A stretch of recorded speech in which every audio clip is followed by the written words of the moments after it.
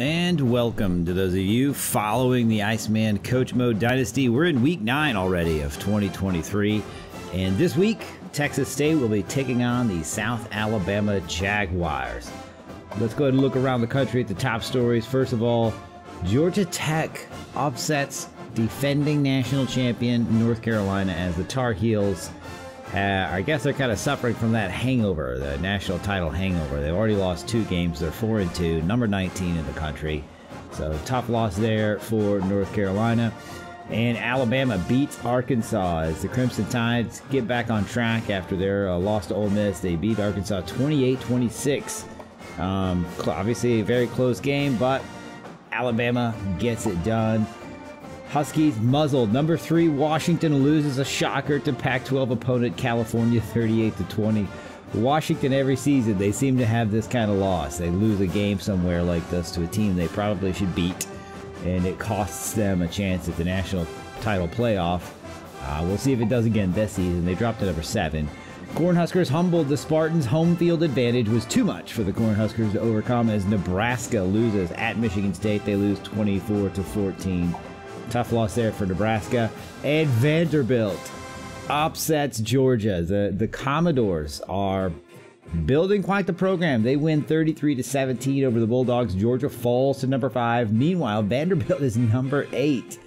And they have a real shot to win the Eastern Division now. If you remember last year, this Vanderbilt Georgia game had Eastern Division ramifications, but the Bulldogs won in Athens. This year in Nashville, Vanderbilt gets it done, and uh, they pull. Away, they were up 19-17 going into the fourth, and they pull away with a couple fourth quarter touchdowns. So, um, big win for Vanderbilt there. And Iowa upsets Ohio State. Uh, they win 34 to 27. Uh, they go into the. Um, well, we'll look at the fourth quarter. How the fourth quarter went. Uh, it was tied 27 27 until a late Iowa touchdown with seven seconds to go, and the Hawkeyes now take control of, uh, well, probably their Big Ten division, and then they have a, now they're in the national title playoff race. Ohio State's still right there; they're on the cusp, but they're going to have to probably win out. Uh, Lubbock is celebrating after a sweet victory over Big 12 rival Texas as Texas Tech beats Texas the, the week after the Longhorns beat Oklahoma. Uh, Longhorns always see this just seems to happen to them. They'll have a big win every year, and then they the very next week they lose to a mediocre opponent. And so Texas, they just they can never quite seem to make that final step. Uh, it's kind of similar to Washington, really. And all eyes will be on the Oregon USC game this week. These two teams are having disappointing seasons. Oregon was ranked in the top five. They've lost two games. USC was number one at one point, and they've lost three. So, um, big game this week for both teams as they try and you know get their um, finish the season with something. Um, so, there's the top stories. We'll look real quick at the top 25. Number one is Florida now. Um, Number two, Notre Dame, and number three, Iowa. Those are your last three big time Power Five undefeated teams. Uh, Notre Dame, I guess they're not Power Five, are they? They're independent, but they're number two now.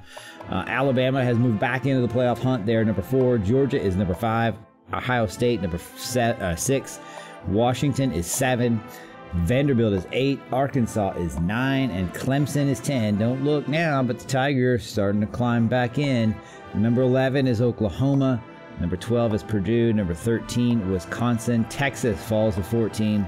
Texas A&M, after a win over Auburn, moves up to 15. Texas Tech it jumps into the top 25, all the way to number 16, as they are actually undefeated. Nebraska falls out of the top 10 to number 17 after that loss to Michigan State. Michigan beats Maryland, so they move up to number 18. Number 19, North Carolina. Number 20 is Memphis, still undefeated after a 30 to 21 win at Troy. Pittsburgh uh, uh, moves up to 21 after a win at Wake Forest. Is Cal with a win over Washington as they are now thir- uh, winning 38 to 20, so they're 22. Ole Miss after the win at LSU, they are up to number 23. USC uh, falls to 24, and Oregon is number 25 after an overtime win against Colorado. So that is your top 25. Real quick look at the Heisman race. Um, Kendall Milton still number one, and Grayson McCall, despite what was a very disappointing performance last week against our team, is still second. So he still has a chance if he can uh, keep his prolific numbers going. Meanwhile, Peter Parrish of Memphis had a good game against uh, Troy, so he is third. McAvor is fourth, and then Naquan Wright is fifth. So let's look at um, recruiting real quick. We won't spend a lot of time on recruiting. Um, not had any new commitments, but this is a big visit week here. As you can see, we've got one, two, three, four, five, six, seven guys coming in this week, including our quarterback uh, target, Gerald Starks. We're the only one going after him, uh, so we really hope to get him signed this week as he makes his visit on campus. Of course, might need a good performance against South Alabama. Uh, Philip James, meanwhile, is a running back we've started targeting. Um, things actually look good. We made a big jump this week. We're up to uh, second place. Uh, but if you notice at the bottom there, looks like Penn State may be coming after him. So we're going to have to try and uh, get on our horse, hopefully, to just to get that uh, finished quickly. He is a Juco, but he'll come in and give us a little depth. He's got uh, good speed, 93, so um, we hope to get him signed on uh, Banks, we're, we're surely we're close to getting him. Um, nobody is, is making any moves towards him at all. Not sure what that's about because he's actually, I mean, 74 rated uh, overall. And he, I'm pretty sure, yeah, he's a true freshman. So, um, not you know, he's not got great speed, not great acceleration, not great agility, but that 74 overall is good. All of his other uh, attributes are, are high. Uh, Brian McFadden he's uh he's somebody that we need to get signed. Is he coming in this week? Yeah, he's um he visits this week, but he's also got visits scheduled, as you can see, with Arkansas and TCU. So, um, and we've got big leads, and we're increasing it every week. But if Arkansas, TCU start coming after him, it's hard to imagine that he won't uh, end up with them. So we um, he, we need to get him signed as quick as possible. James Fine. Um, you know, we have we've, we've kind of jumped out in front on him. Uh, we're we're get, we're putting Rice, New Mexico, North Texas behind us a little bit, but they he still visits those guys later. So he's another guy that you know the clock could be ticking to get him signed. Uh, Calhoun's a guy we're not even really hardly going after, but we still lead on him. James Johnson, uh, Hemphill. So you can kind of see Hemphill's another guy where it's just I don't know if we have time um, and we're losing. What I'm trying to do, I'm just, he visits this week. The visit hopefully will put him into, or will help, will put us in front. But he visits Texas A&M next week, so he's a guy. If we don't sign him this week, we may just have to stop uh, going after him because he'll he'll end up with A&M, which is fair enough. Um, Jefferson, we've taken the lead on Jefferson, and we've had it there for a couple weeks, and we. Um, and we're only we're only gaining we're only putting 60 points a week distance between us and UTSA, but he visits them in week 14. So again, clock is ticking. We need to get him signed on.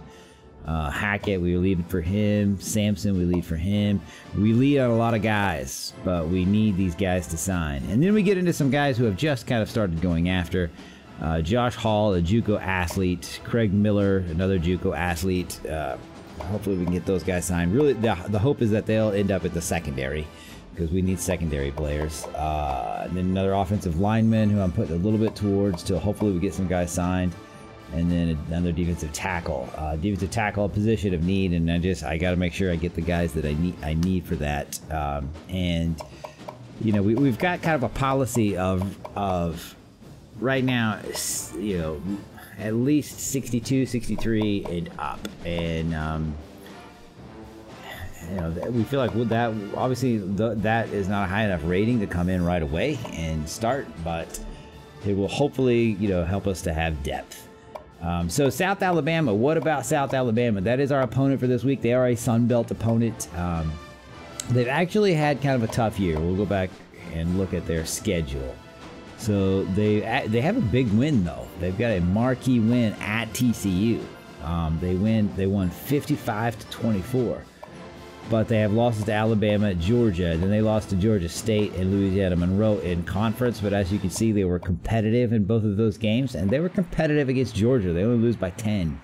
So um, yeah, they're not going to be the worst opponent that you're going to see. Matter of fact. They have. Uh, a more talented roster than we do. Um, so which you know so far our system has kind of worked. Uh, we'll see if it works again today. Looking at their depth chart, um, we'll start by saying that South Alabama on offense they run um, a multiple offense, which is they use the South Carolina playbook. So I guess it's kind of like the old Steve Spurrier stuff, but they run most of the time.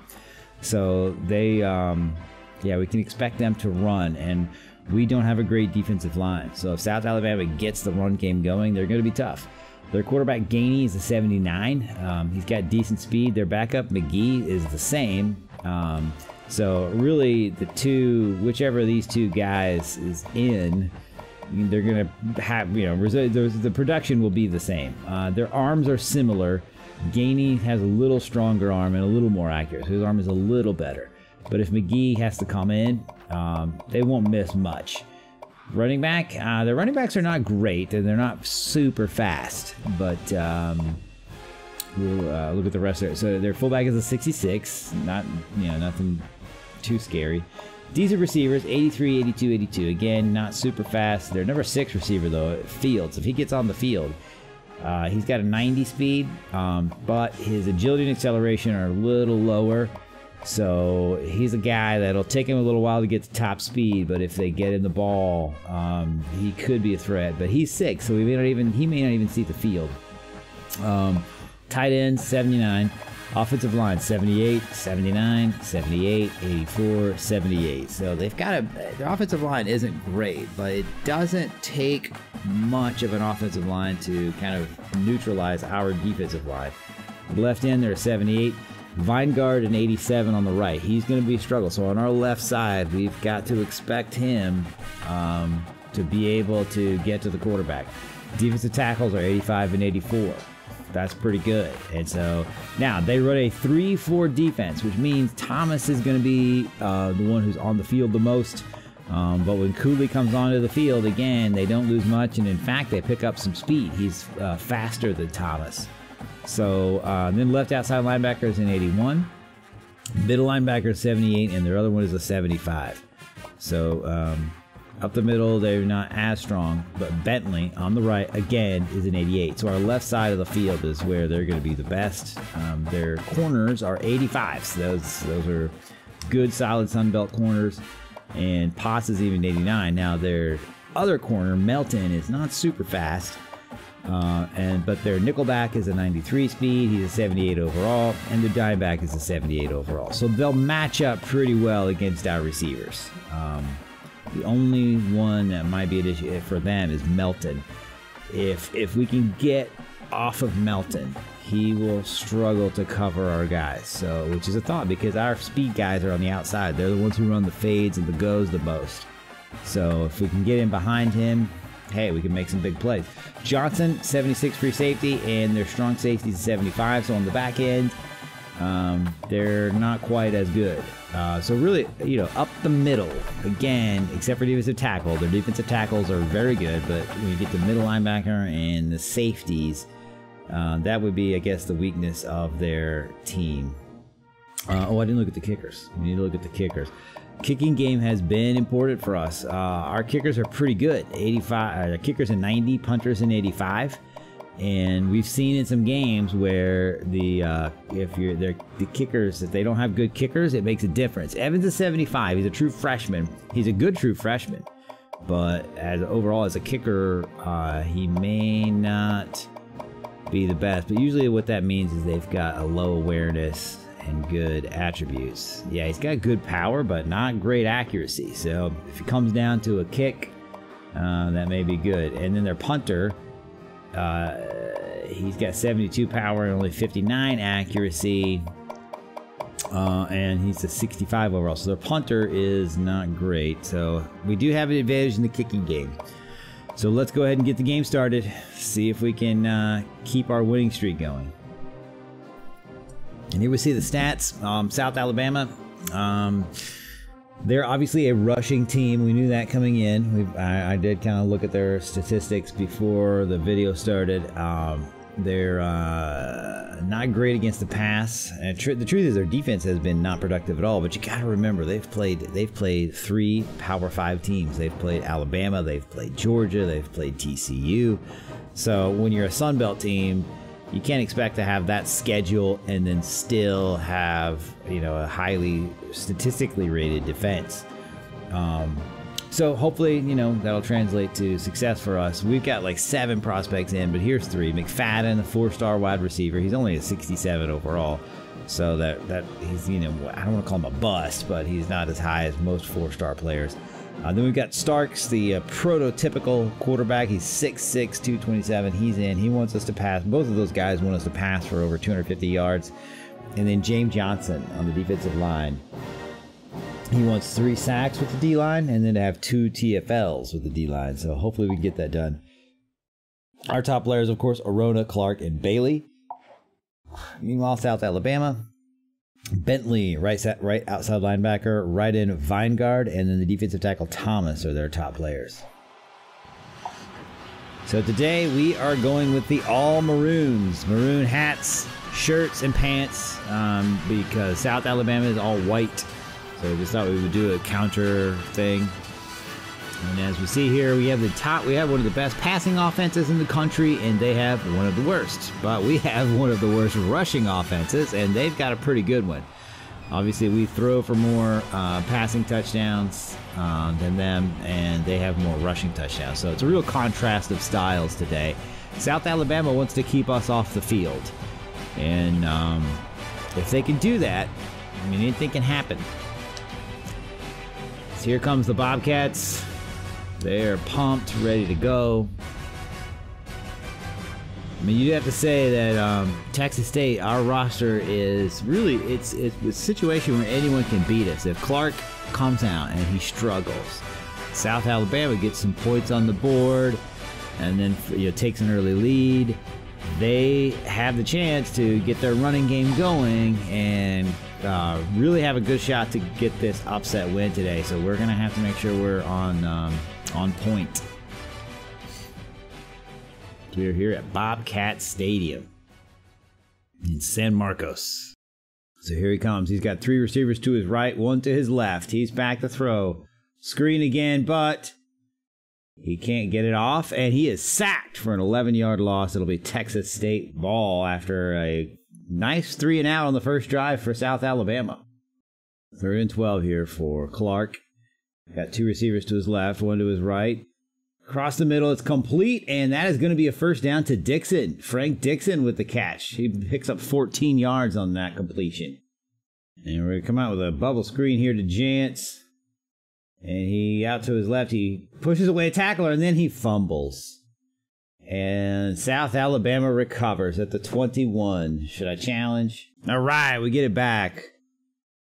So that'll be second and seven. We're going to run our stick base RPO here. And we're going to call a run. He's got five in the box, so see if we can pick it up on the ground. And he he'll takes it up the middle, gets a nice gain.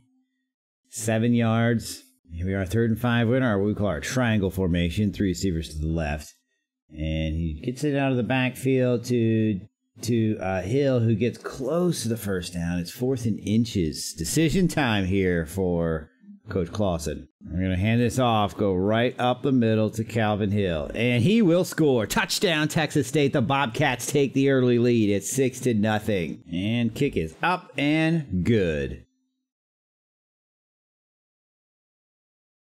go. All right. Keep it simple. I like it. It's either that or sixty. So defense was awesome on the first drive. Let's see what they can do second drive here. Third and 13 here. Gainey comes out, two receivers to his left, one to the right with the tight end. He brings the tight end across the formation to his left, then takes the snap. And he is sacked again. Two sacks already for Brian Wright as this was kind of a cover sack, although he made a nice move on his tackle on his um, on his blocker to shed it, and then gets the sack. Third and ten. Clark back to throw. Pocket holds, but he eventually is sacked. Took too long. We lose seven yards. We'll have to punt.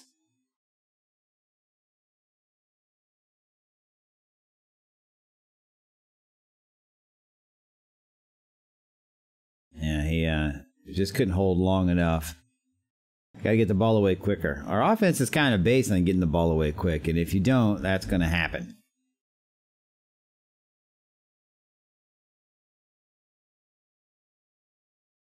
So here comes, I forget my punter's name, but he punts it away. They call for a fair catch, and that quickly careens into the end zone. So South Alabama ha- is, has negative 21 yards right now on offense. Third down at 14 here. Gainey has two receivers to his right, one to his left. He brings the tight end across the formation from his left to his right, takes the snap, throws, and that is to no one. Fourth down, 14. Our defense has been dominant so far. All right, second eight running smash to our right. Clark had three receivers to his right. He looks, and he's Clark's going long. Oh, he's got a man wide open, but Jan steps out after that catch. How did he get so open? Looked like the safety that was out there for no reason whatsoever cut inside. So uh, first and goal. All right, second and goal. Running kind of a motion mesh here. Clark looks, throws it. He gets it complete to Horn, who scores the touchdown. And that will put us up by two scores here in the first quarter, pending the extra point.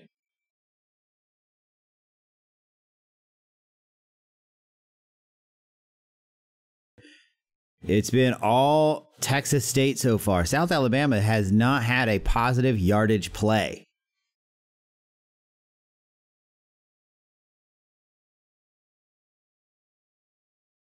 There you see Brian Wright, three tackles, three TFLs, and two sacks. That's what they need to do. They need to throw more to the back. Here's uh he fakes the handoff. He gets it to tight end, I think, out of the um over to into the flat, and he gets ten yards on the catch. South Alabama now near midfield. Gainey takes the snap.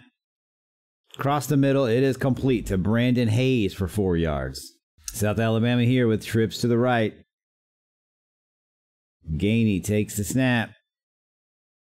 Throws it deep, and he it is complete. That was a 23 yard reception to Keyshawn Wood Woodyard. Gainey's got three receivers to his right. It's tied into his left. Here in the gun, he makes an adjustment, takes the snap.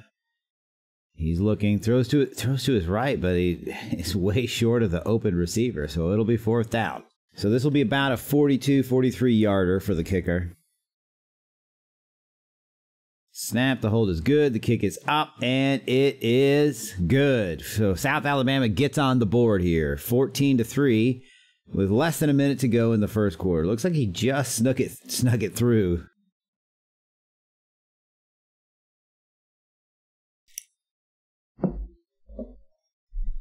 So you see our offense, we've had a pretty good day so far. Third and 10 at the 40, uh, 45. Clark takes the snap. South Alabama blitzes. He gets it to the back, but but uh, Jeter is hit for a four yard loss. Nothing going on that drive.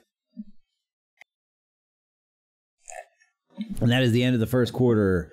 Uh, uneven first quarter. Uh, our defense really carried us. I don't want to say carried us, but got us the ball in good field position, and we made it count. And we have a 14-3 lead here. So South Alabama comes out here, two receivers to his left. He's got a tight end and another receiver to, sorry, two receivers to his right. He brings the tight end from left to right.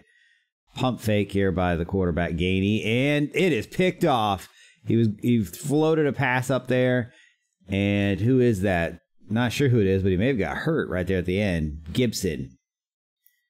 Gibson, who I think is a corner, makes the pick. Then he hit, runs into his own man, gets tackled, and that may be an injury. So we come out here first and 10 at the South Alabama 46. Another drive with good field position. Handoff up the middle to Hill. He has a big gain right there. That's 15 yards. First and 10 for the Bobcats.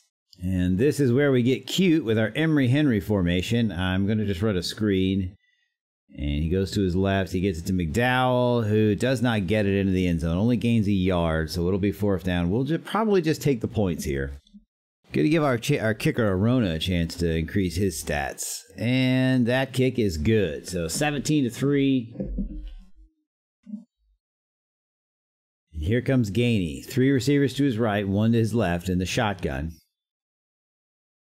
And he's back to throw. Throws it to his right. It's complete. And the receiver picks up nine yards before he's pushed out of bounds. Gainey again. Here he's got two receivers to each side. Fakes the handoff. Well, it's a read option. He keeps it, and goes straight up the middle. This is a big gain for him. He's going to get to midfield, and we probably face mask him there at the end. I think we did. They threw a flag. Yeah, so that's an even bigger gain. And Gainey again. Three receivers to his right, one to his left. On the read option this time, he gives it, and Phillips gets away, and he gets into the secondary and picks up 17 yards. South Alabama now on the move. First and 10, going to try and do his zone blitz here. Gainey is back to throw. He's in trouble, and he gets dropped. The zone blitz worked. A rare case where a blitz actually brings a sack as Christian Archangel gets back there for the TFL sack. Gainey here, three receivers to his left, one to his right in the gun. It's one back. He throws a bubble screen or just a quick screen, and it is tackled immediately. Woodward brought down for a two yard loss, third and 19. And here at third and 19, Gainey has two receivers to each side. He takes a snap, and he moves around in the pocket and he, he might have had a man but he throws it short so it'll be fourth and 19 here so south alabama sends their kicker out to try to bring the lead back down to 11 this will be about a 45 yarder and it's up and he misses it he missed it let's see what happened here it's hard to see from the angle that the, it shows it to you he just he sent it across to the right and it was close but it's no good here comes Clark out here, second and two at about the 30, what, 35, 36. And it's complete to Horn. And he will pick up about 11 yards, so it'll be first and 10 here. Second one for Texas State here. Clark takes the snap. And he throws it to Hill out of the backfield. This time, Hill in space picks up a 14 yards on that catch. I'm going to run our exit motion series here.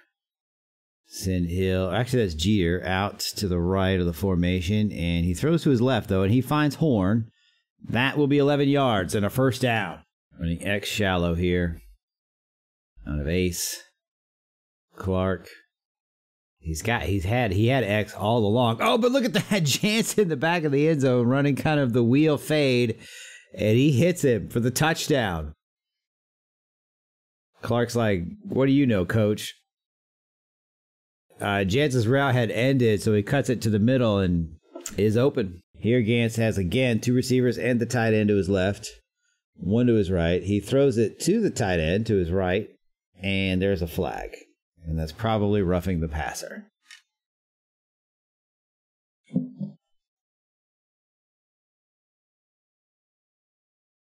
So USA again picks up an extra 15 yards there. Coach Clausen is not happy. He's letting the refs hear about it. Gainey with a tight formation here. Across the middle, it's complete, but it is short of the first down. It'd be fourth and two. What will South Alabama do? I would go for it. Fourth and two. Gainey. He's got two receivers to the left with two tight set. He'll bring one tight end from the left to his right. Takes the snap. He's in trouble here. We blitzed, and it pays off. Turnover on downs as Gainey is sacked. Is that Chris Archangel again? It is. Chris Archangel, second sack. Second and 10. Handoff up the middle goes to Hill, and Hill weaves his way to the first down. 11 yard get pick up there. Gonna run smash. But it looks like. I'm gonna bring Dixon in on a slant because it looks like we're gonna have a lot of space towards the middle. He, we did have space there, and he goes to Hill in the middle, who picks up 10 yards inside the 10, so we're at the 7 here. Third and goal. Here we go. See if Clark can finish this drive. Cross the middle. That time, it's pretty much the same route ran there. Jantz makes that catch. And so now we have a 30 to 3 lead pending the extra point.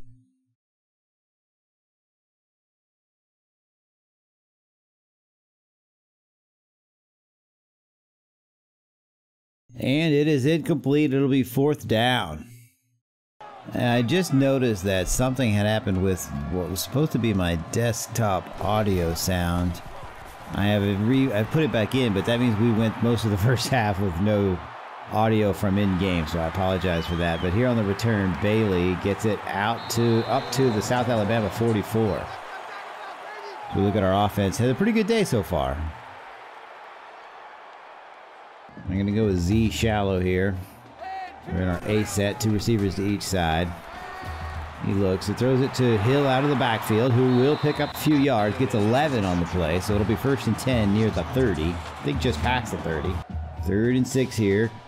Got three receivers to his right, one to his left. Clark back to throw across the middle. It is complete to Jantz. He gets it up inside the 10. And we'll go and take a timeout there. Second and goal. Clark to throw. Into the corner. He's got Jantz. It is complete, and that is going to give us a five touchdown lead. It's 37 to 3 near the end of the first half. Third and eight at the 44. We're going to kind of run a wheel concept, and Clark here. And he tries to force that in and it was knocked away. So fourth down and eight. So we're going to go for this. I've always wanted to be more aggressive. That's always been the plan. And in this situation, I feel like I can be. And he gets it up the middle. That was to Burgess. That is complete. That's a 16 yard catch. Might seem like we're trying to run up the score, whatever. Uh, but we were on their half of the field. We couldn't kick a field goal. First and 10 here. You got three to his left, one to the right. We're running mesh. And he's in trouble. Sacked. He held it too long. Looked like he was going to try to go long there, but he is dropped for an eight yard loss. He probably had the mesh guys open, but he was trying to get greedy probably. Second and 18 coming up. Third and 15 at the 34. As long as we don't take a sack, I'm probably going to go for the field goal here. Horn takes the snap. There's a sail. He goes to his right, and he's got it to Horn, who gets 13 yards. Fourth down. We'll probably go ahead and kick this. This will be a 39-yard field goal for Arona. The snap, the hold, the kick is good. So we take a 41 3 lead past midway through the third quarter. That was kind of a time-consuming drive for us.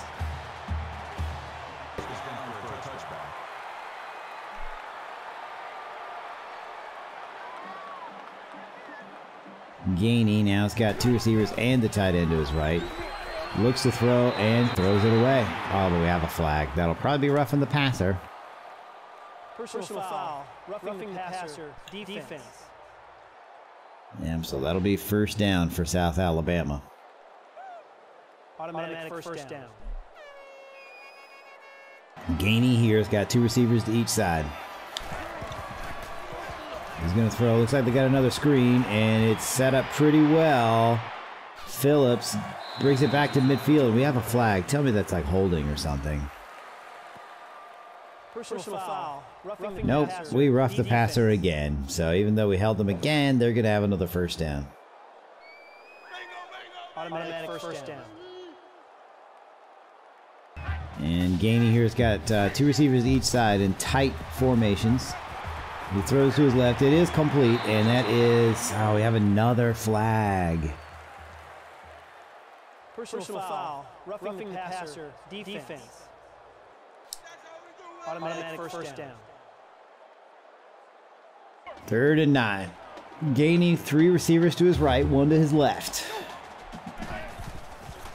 Snap, and he is in the pocket, throws across the middle. It's complete, and Hopper has the ball at the one yard line. We bring him down before he can score. Gainey here, two receivers to his right. The tight end moves across to his right. Handoff. No, it's the read option. He keeps, and he will score. Touchdown, South Alabama. Third and six. Clark looks across the middle. That goes to McDowell. He does turn it upfield. He'll get a 10, about 10 yards there.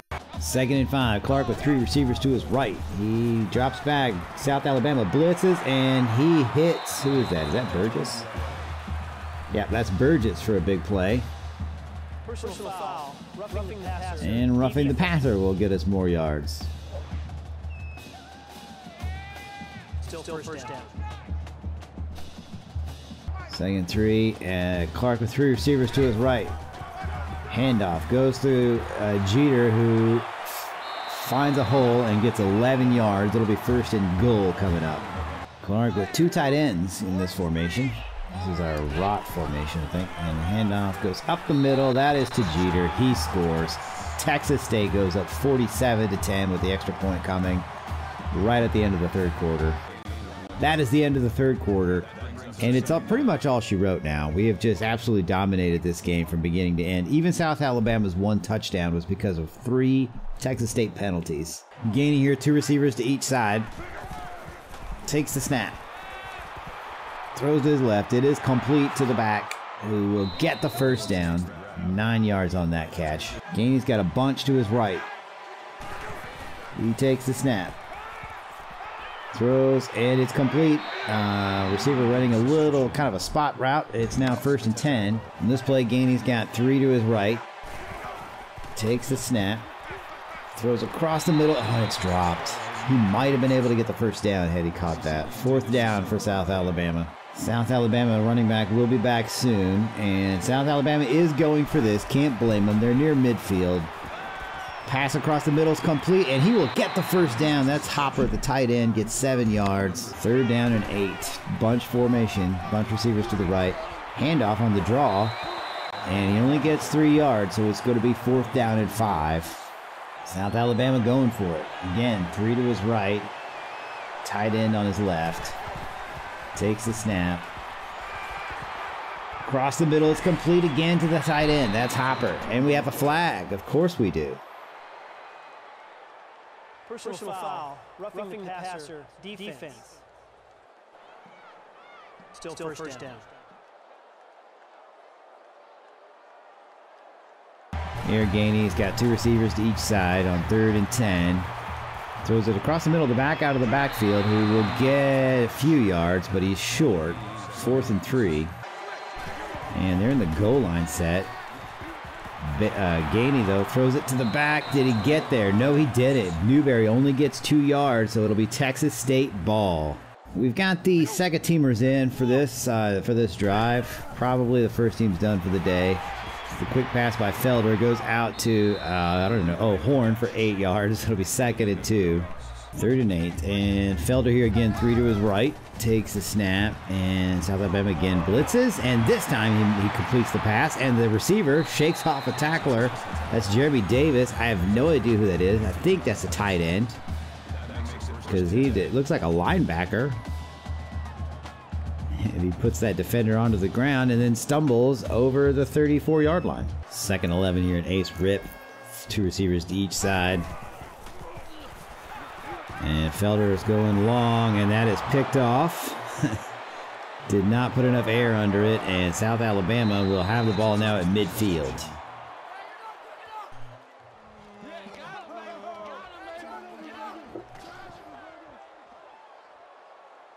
Second and seven here. Gainey back to throw again. Throws to his right. It's complete. And receiver has some space. He gets the ball up to the 19. Brandon Hayes there on the 27 yard catch. And there's screen. And Gainey is hit. And it's incomplete. Fourth and seven. And here Gainey is back to throw. Throws to his right. It's no, he dropped it. Oh, but we hit him after the pass, so you're going to get a Personal, Personal foul. Roughing, Roughing the passer. passer. Defense. Defense. Still, Still first, first down. down. And here's Gainey to throw. Oh, he's going to run, and he is going to score. Yeah, touchdown, South Alabama. I think that's the second touchdown run. So again, penalties. Penalties give South Alabama a score. First and 10 from the 31. Felder here, going to run the wheel concept out of our ace. Two receivers each side. Here he throws it, and he's got Horn. Uh, I think that's Horn. Yeah, Horn. And we have another flag. Please don't be holding. Personal foul. Clipping. Yeah, clipping. Offense. So he'll bring that back. Still, Still first, down. Felder now at the 30 on third and 10. Takes the snap. And he's in trouble, but he gets it away. And it's picked off as B. Felder's second interception, and he's showing why he's the backup quarterback. And South Alabama uh, defender gets away and gets down the sideline for probably a good 15 yard return. So he gets it at the 18. First gets knocked backwards a little bit, but once he turns it up, we can't make the tackle there. Of course, to be fair, these are a bunch of offensive players, but still.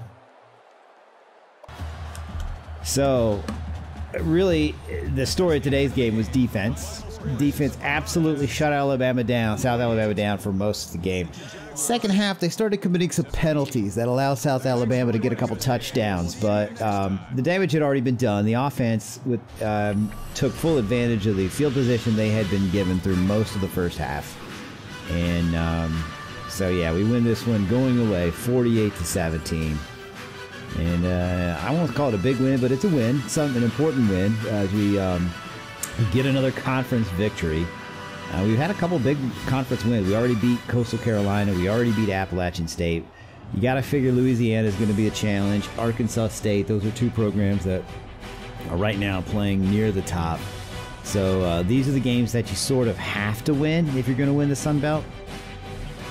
And here are the team stats. Um, it's not eye popping. We only had 395 yards of total offense. Probably should have ran the ball more in mop up duty time. Uh, took a couple sacks that brought that number down. Uh, only 57 yards rushing. We had 338, but again, we were given good field position all day, so I'm not going to be too concerned about that. Um, defensively is where we had our big success today.